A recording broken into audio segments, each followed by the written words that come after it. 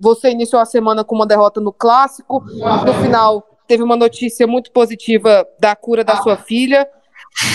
E agora essa vitória contra o Ceará. Como é que foi terminar essa semana com essa vitória no Ceará? E não tinha outro resultado a não ser a vitória do Atlético, Marcelo? É, agradecer a Deus por essa vitória, porque a gente tem nos capacitado. Dedicar essa vitória à minha filha Eduarda, pela notícia que tivemos ontem, né, da, alta completa dela. É para você, Dudinha, essa vitória. E para a torcida atleticana, os torcedores atleticanos, o torcedor do Dragão, e a gente sabe que saiu muito triste com a derrota do último segunda-feira, mas a gente sabia que a gente podia chegar aqui e reverter esse quadro e buscar uma vitória.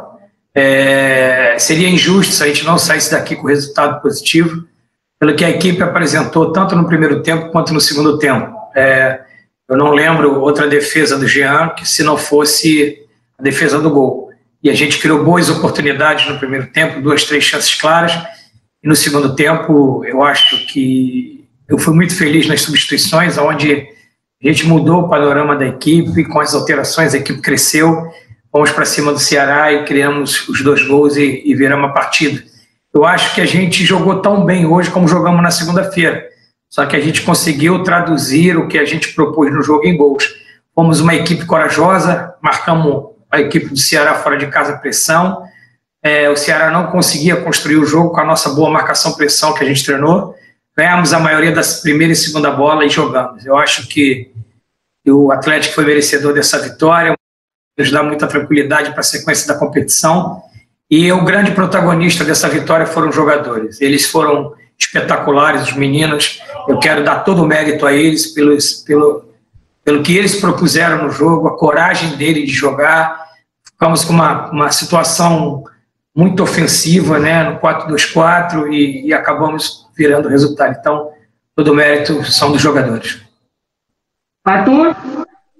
Marcelo Cabo, Arthur Magalhães, Rádio Bandeirantes, Feras do Esporte, parabéns pela vitória. O senhor foi eleito aqui no terceiro tempo como a fera do jogo, ou seja, é, ponto para a comissão técnica do Atlético essa vitória contra a equipe do Ceará. Eu queria saber do senhor é, o que o senhor viu no segundo tempo para fazer as alterações que foram determinantes para a vitória do Atlético. Professor, boa noite.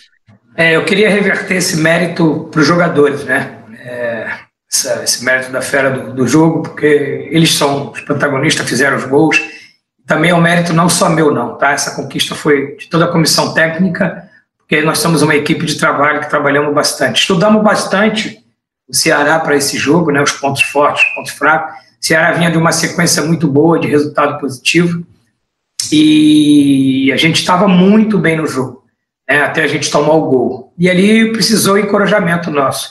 Eu já tinha essas ideias das alterações, né, caso a gente viesse a, a, a estar atrás do placar, era, era, era uma formatação que eu já tinha estudado ela, caso a gente saísse perdendo, e, e, e eu acho que foi determinante a repaginada que nós demos na parte da frente, né? A entrada do Natanael, porque tem uma característica ofensiva maior que a do Nicolas, né? O Rato, o Robertson e o, e o, e o Ferrares, e os quatro entraram muito bem, é, fizeram aquilo que a gente conversou, que a gente propôs, e foi um time que teve coragem para agredir e atacar o Ceará. E depois a entrada do Vargas, porque o Zé Roberto cansou, pediu para sair, já não aguentava mais recompor. Fizemos ali o Vargas no lugar do Marlon, e adiantamos um pouquinho o Marlon para que a gente também pudesse buscar o terceiro gol. Uma pifada do Marlon, um passe, o Marlon é, voltou, ele, ele, ele, engrandeceu muito o nosso meio-campo, é, é, qualificou muito o nosso meio-campo. Ele foi um verdadeiro maestro no meio-campo e nos ajudou bastante. Murilo? Marcelo, boa noite. É, gostaria que você falasse da sua sequência fora de casa, altamente positiva, né? São duas vitórias, um empate. E por que isso não se repete nos domínios do Atlético, estilo de jogo? O que, que você analisa nesse sentido de estar tá conseguindo muitos pontos fora de casa e não em casa? Boa noite. Boa noite, Murilo. A gente tem a mesma proposta de jogo dentro e fora de casa. O Atlético é um time corajoso. A gente joga, viemos dentro do Castelão, marcamos o Ceará pressão, não deixamos o Ceará jogar que a gente entendia que se o Ceará começasse a circular essa bola na frente da nossa área, eles eram muito capacitados para isso. Então a gente é, propôs uma marcação pressão forte e alta, o Ceará não pudesse sair do campo dele. Então a gente fez a mesma coisa com, com nos últimos 30 minutos contra o Inter, contra o Goiás, fizemos a mesma proposta de jogo, faltou a gente caprichar um pouquinho mais, né, como a gente caprichou no terço final. Trabalhamos bastante esse terço final, né, você viu que os cruzamentos hoje já melhoraram bastante, foram um cruzamento mais rápido, é, é, a circulação de bola, tabela, triangulações, é, é, é, e tudo aquilo que a gente trabalhou para esse jogo hoje acabou acontecendo. Então, a postura e a proposta do Atlético é a mesma, porque hoje a gente conseguiu encaixar a proposta de jogo que a gente teve, principalmente depois das substituições. E foram substituições corajosas, audaciosas, como o Atlético tem que ser no decorrer da competição. Felipe André. Boa noite, Marcelo Cabo. Parabéns pela vitória. Queria ver com você duas situações. Desde a sua chegada, o Atlético sempre teve uma semana para treinar, né? Sempre teve uma semana livre desde a sua estreia. Apesar que essa semana você teve um jogo na segunda e agora no sábado. Só que seu próximo duelo já é na quarta-feira contra o Fluminense em casa. Como é que você planeja preparar a equipe com um tempo mais reduzido? E a segunda questão era sobre o Robertson, né? Contra o, no clássico contra o Goiás. A jogada mais perigosa do Atlético foi uma finalização na trave do próprio Robertson. Hoje ele entra e faz o gol da vitória. Ele chegou um pouco abaixo fisicamente, como você mesmo havia declarado. O que, que você pode falar dessa situação do tempo menor e do atacante? É recuperar bem os jogadores né, de hoje para quarta-feira. Eles têm noção que precisam ter uma recuperação muito boa, porque a gente vai enfrentar um grande adversário na próxima quarta-feira. É um período mínimo de menor de trabalho, mas a gente vai ter aí talvez uma boa sessão de treinamento para fazer os ajustes. Estudar bastante o Fluminense para saber o que, que a gente tem de preposição positiva e os pontos fortes do Fluminense para que a gente possa bloquear. Mas Fluminense eu vou pensar a partir de amanhã. O Robertson foi mais uma, uma, uma assertiva da diretoria em contratá-lo.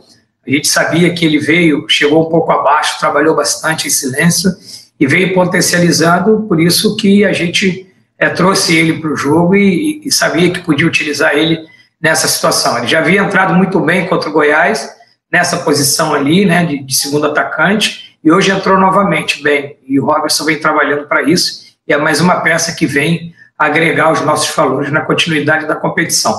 Mas é importante que nós não chegamos ainda no nosso objetivo, muito pé no chão, muita humildade, muito trabalho, demos um passo bom para que a gente possa entrar na, na, na carreira dos 30 pontos mas ainda estamos muito longe do nosso objetivo, temos que trabalhar bastante ainda. É, Robertson, no seu primeiro jogo com a camisa do Atlético, você acertou a bola na, a bola na trave, né, no clássico contra o Goiás. No seu segundo jogo, já marcou esse gol importantíssimo nessa vitória fora de casa contra o Ceará. O começo está sendo melhor do que você imaginava com a camisa do Dragão? Ah, com certeza, a gente sempre quer, quer fazer o nosso melhor, né? A gente trabalha duro para isso. Mas graças a Deus as coisas vêm acontecendo aqui no Atlético Goianiense. É, o primeiro jogo ficou na trave, como você disse, e hoje eu fui feliz por fazer o gol e ajudar a nossa equipe com, com esse gol e saindo um vitorioso com esses três pontos, que foi muito importante para a nossa equipe. Arthur Magalhães, aqui da Rádio Bandeirantes, Feras do Esporte, parabéns pelo importante gol. Eu queria saber de você, como está a tua preparação física, o teu rendimento no dia a dia. A pergunta é: está pronto para ser titular no time do Atlético? Se Marcelo Cabo precisar, você já está ok para assumir aí a titularidade no Dragão, Robson? Então, eu quando eu cheguei no clube, eu fiquei três semanas fazendo parte física e com certeza eu já estou muito bem fisicamente. E mas o nosso time tem, tem vários jogadores, né, centroavantes ali, que com certeza pode, com quem o, o Marcelo Cabo optar por jogar, é, com certeza vai, vai ajudar muito a, a, nossa equipe. Não importa quem vai ser titular ou não, tem eu, tem o Zé, tem o Brandão, são grandes jogadores que, que vêm trabalhando muito, se dedicando bastante é, em prol do, do Atlético Goianiense, para sempre estar ajudando. Então, quem, quem um treinador optar por jogar, com certeza vai, vai dar conta do recado. Murilo? Robertson, boa noite. Murilo Nascente, da Rádio Band News. Uh, apesar do Atlético estar numa posição bem confortável na tabela, o ataque não vem sendo aí o principal ponto do time nesse Campeonato Brasileiro de Série A. Né? Inclusive, começou a rodada hoje como o pior, pior ataque, fazendo apenas 20 gols, hoje passou para 22. O que, que o Robertson pode ajudar é, para tirar essa, essa marca do Atlético de, de não estar tá conseguindo ter resultado positivo no ataque. Você já entrou, nos dois jogos que você entrou, a gente já percebeu a movimentação, incomodando muito a, a defesa. Hoje o gol saiu né, de um belo chute, um chute bem colocado. E que as suas características podem ajudar o Atlético nesse momento de é, reagir o, esse, esse comando de ataque da equipe?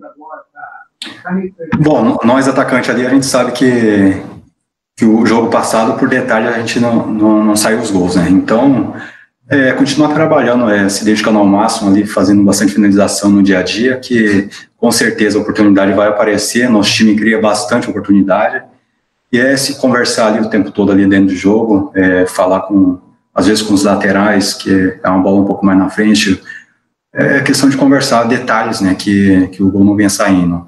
E dessa esse jogo a gente pôde fazer uma tabela ali por dentro também que o nosso time gosta bastante disso, né?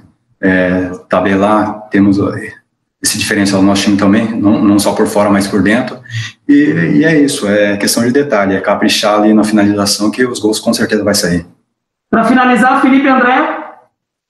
Boa noite, Robertson. É, Felipe André do Jornal Hoje. Parabéns pelo gol. Robertson, contra o Goiás, a gente viu que você entrou como um segundo atacante, né? A Natália já, já havia destacado a, a, principal jogada do Atlético, o, o, o, momento que o Atlético levou mais perigo no clássico foi na sua finalização na trave. Hoje você também entrou como um segundo atacante, depois o Zé Roberto saiu, você virou a referência no ataque. Qual posição que você fica mais confortável jogando? Você, você atua nas duas? Se você consegue jogar bem nas duas, você se sente confortável em atuar nas duas e se tem mais alguma característica assim que você pode demonstrar nos próximos jogos, quem sabe com mais tempo em campo? Então, eu. Minha característica é jogar por dentro mesmo, né? É, quanto de centroavante ou como de meio, é, de segundo atacante. É, eu venho me trabalhando bastante nisso, né? Quando o professor Marcelo é, pede para jogar ali mais recuado, como meia, é, eu venho tendo. Apagou aqui. Pode continuar. continuar. E, então, para mim, não, é, como centroavante ou como segundo atacante, qualquer uma das duas funções eu me sinto bem à vontade. De pé esquerdo, Jean correu, bateu, gol!